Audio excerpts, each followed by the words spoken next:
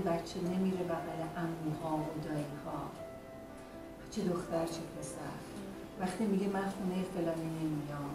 وقتی میگه من تو این خونه که بودیم نمی‌خوام بیام. اینجا علامت سوال واسه من مامان جون بابا جون چرا؟ یالت راحت راحت بشه برای من حرف بزن چیزی ناراحت می‌کنه کسی ناراحت می‌کنه اصلا نترس تو همه چی رو می‌تونی. ممکنه اون لحظه بهت نگه ولی یه سکوب اطمینان رو داری بهش میدی.